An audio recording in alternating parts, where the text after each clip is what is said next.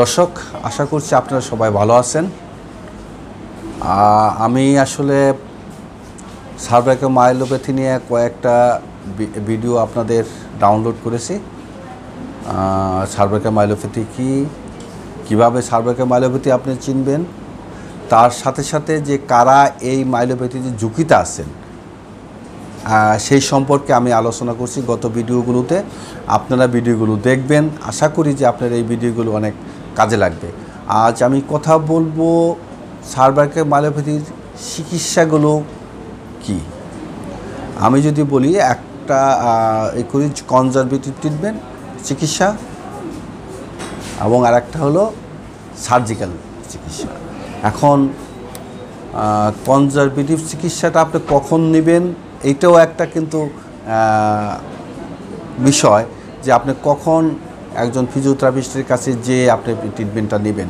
আর কখন আপনি সার্জারি করবেন, সেই জিনিসটা আমি আজকে খোলাসা করে বলার চেষ্টা করব এবং আপনারা আশা করি আপনার এই ভিডিও থেকে অনেক কিছু বুঝতে পারবেন এই- বিষয়ে। আমি গত ভিডিওতে বলছিলাম যে আপনারা যদি এই সিমটমগুলো দেখা দেয়, সরাসরি আপনি একজন ফিজিওথেরাপিস্টের কাছে যাবেন। ফিজিওথেরাপিস্ট আপনাকে ট্রিটমেন্ট করে, আপনাকে বিভিন্ন ডিকম্বিশন করে আপনি হয়তো বা মুভমেন্টটা করলে তাহলে হয়তো বা আপনার এটা রিলিজ হয়ে যেতে পারে। সেটা আর্লি স্টেজে আবার যদি আপনি খুব বেশি লেটার স্টেজে আসেন, তাহলে কিন্তু তখন আপনার সার্জারি করতে হবে। কখন আপনি সার্জারি করবেন? আমি একটা জিনিস আমি বলব, যখনই তার আপনার একটা, কয়েকটা জিনিস আসবে, যখন বাউল ব্লাডার যেটা আমরা পায়খানা প্রস্রাব বলি, তখন আপনি ধরে রাখতে পারবেন না। আপনার উইকনেসটা খুব দ্রুত ডেভেলপ করছে। এবং তার সাথে সাথে আপনি ব্যালেন্স আপনি রাখতে পারছেন না, আপনি বসে থাকতে পার, দাঁড়িয়ে থাকতে পারছেন না হাঁটতে পারছেন না, হাঁটলেই পড়ে যাচ্ছেন। তখন কিন্তু, এবং তার সাথে সাথে কম্প্রেশনটা কতটুকু? আমার এমরা আমার এই ক্ষেত্রে আপনাকে এমআরআই করতে হবে। এমআরআই করে দেখতে হবে যে কম্প্রেশন কতটুকু আছে যদি বেশি পরিমাণে কম্প্রেশন থাকে, এবং তার সাথে সাথে যদি কোনো দেখা যায় যে স্পাইনাল কর্ডে কোনো হোয়াইটিং কালার দেখা দিচ্ছে, সেক্ষেত্রে কিন্তু দেখা যাচ্ছে যে ওখানে ন্যাক্রোসিস শুরু হয়ে গেছে। ওই টিস্যুগুলো ন্যাক্রোসিস শুরু হয়ে গেছে, যে সুপারফিশিয়াল যে লেয়ারটা থাকে স্পাইনাল কর্ডের। সেক্ষেত্রে কিন্তু আমাকে অবশ্যই অপারেশন করতে হবে। আমি আবার বলছি, যাদের পায়খানা প্রস্রাব করতে পারছে না, সমস্যা হচ্ছে, দুই নম্বর তার উইকনেস খুব দ্রুত ডেভেলপ করতেছে উইকনেস খুব বেশি দ্রুত মাত্রায় এটাকে খারাপ হয়ে দিকে যাচ্ছে। তার সাথে সাথে তার যদি ব্যালেন্সের সমস্যা থাকে, যদি উঠা চলাফেরা করতে না পারে বা বেশিক্ষণ চলাফেরা না করতে পারে, ধরে রাখে, সেক্ষেত্রে অপারেশনটা করতে হবে। আর যদি কারও আর্লি স্টেজে যে হালকা হাতে ঝিঝি আছে, কোমরে খুব বেশি ব্যথা, কিন্তু হাঁটা চলা করতে পারে সেক্ষেত্রে কিন্তু আপনার ফিজিওথেরাপি এবং তার কম্প্রেশনের পরিমাণটা ইনিশিয়াল অবস্থায় কম আছে। তাহলে কিন্তু আপনি তখন একজন ফিজিওথেরাপিস্ট আপনাকে ট্রিটমেন্ট দিলে, বিভিন্ন ফিজিওথেরাপি ইন্টারভেনশন দিলে হয়তো আপনি ভালো রেজাল্ট পেতে পারেন। এবং এটা একটা লং টার্ম প্রসেস আপনাকে হয়তো বা বিশ দিন, তিরিশ দিন এবং বেশি, এর চেয়ে বেশিও আপনাকে treatment session physiotherapy treatment session নিয়ে আপনাকে আপনি এটাকে রিকভারি করতে পারেন। আমি আশা করব আপনারা এই যে যে কথাগুলো বললাম আপনাদের, এটা খুব গুরুত্বপূর্ণ জিনিস। আপনিই আপনি নির্ধারণ করবেন যে আপনার সমস্যাটা কি, আপনার সমস্যাগুলো কত দূর পর্যন্ত আপনি রিকভারি করবেন কোথায় যেতে হবে। আমি একটা জিনিসই আমি বলব যে আমি সব কিছু পারব, আমি অ্যাজ এ ফিজিওথেরাপিস্ট আমি সবাইকে ভালো রিকভারি করতে পারব, সেটা হয় না সেটা পারব না।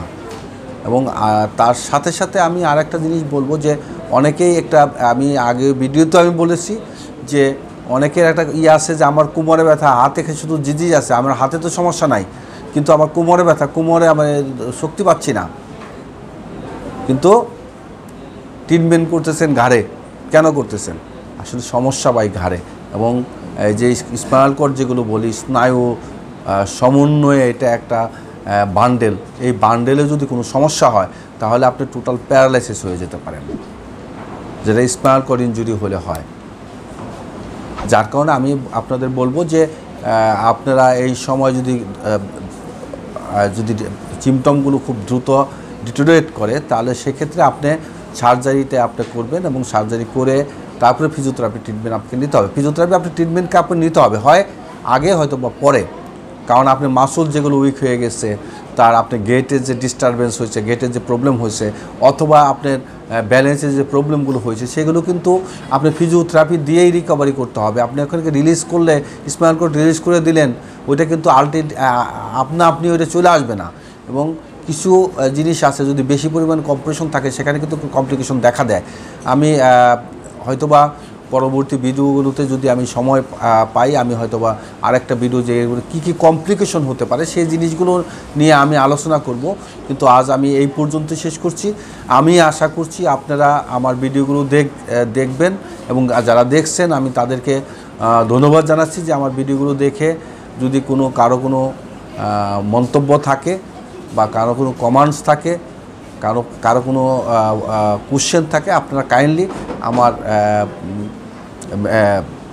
মেসেজ করবেন অথবা কমান্ডস করবেন করে আমাকে জানাবেন। আমি চেষ্টা করব আপনাদের বাই ফোনে অথবা মেসেজ অপশনে মেসেজে অথবা কমান্ডসে আপনাদের এই উত্তরগুলো দেওয়ার জন্যে। আপনাদের কোনো এবং গঠনমূলক কোনো কোশ্চেন থাকলে বা গঠনমূলক কোনো কমান্ডস থাকলেও আপনারা এটা করতে পারেন। আমি আমি আপনাদের কাছে রিকোয়েস্ট করব যে আপনারা আমার ভিডিওগুলোকে শেয়ার করবেন সাবস্ক্রাইব করবেন এবং আপনার ফ্রেন্ডকে জানাবেন, আপনার আত্মীয় স্বজনকে জানাবেন। এদের একটা অ্যাওয়ারনেসমূলক ভিডিও যার কারণে আপনি উপকৃত হন এবং তার সাথে সাথে আপনার ফ্যামিলি থেকে শুরু করে আপনার সমাজের সবাই যাতে এই ভিডিও দেখে উপকৃত হয়, সেই আশা ব্যক্ত রেখে আমি শেষ করছি। ধন্যবাদ সবাই